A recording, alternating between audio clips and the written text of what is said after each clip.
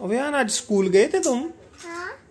आज स्कूल में क्या किया फिर तुमने? मैंने कढ़ी चावल खाए कड़ी चावल खाए? हाँ। अच्छा कड़ी चावल किसने बनाए थे? मैम ने। बनाए थे? हाँ। मैम ने कैसे बनाए? छुक्के छुक्के भी मिलते हैं। सूखे सूखे भी मिलते हैं? हाँ। अच्छा। मैम ने कैसे बनाए फिर चावल? कैसे? अच्छा ऐसे। ऐसे बनाए। कड़ी किसने बनाई थी फिर?